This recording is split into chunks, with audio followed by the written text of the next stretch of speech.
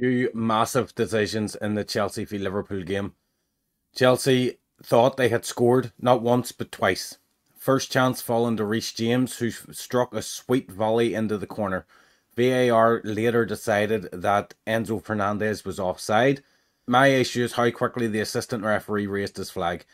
Liverpool's defender headed the ball out towards the edge of the box where James was waiting. Whilst the ball was mid-air, the assistant raises the flag. This is gonna catch the eye of the goalkeeper. James strikes it, scores, later disallowed for, for offside as was stated.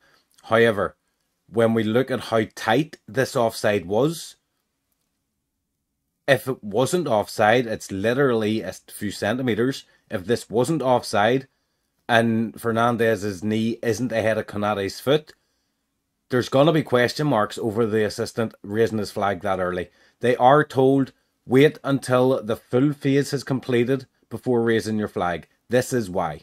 Moving on, Chelsea then scored again to then have it disallowed again by VAR. this one's a little more clear cut.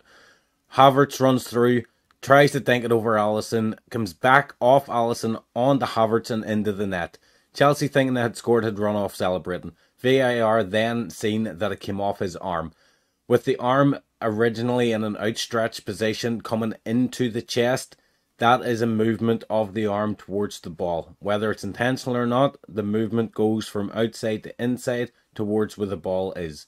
The fact that it hit his arm deems that irrelevant anyway because you can't score straight from a handball. Chelsea, desperately unfortunate, very, very unlucky against a bang average Liverpool team.